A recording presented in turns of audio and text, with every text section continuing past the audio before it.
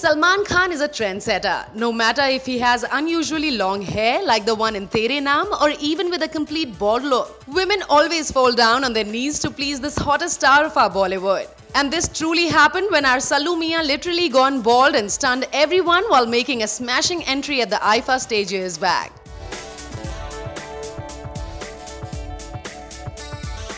We have a video of the same where Salman not only surprised one and all with his bald look but as well as charmed with this attitude and grace. And naturally, the audience gets cracked up when he's live wire on the stage with his great sense of humor.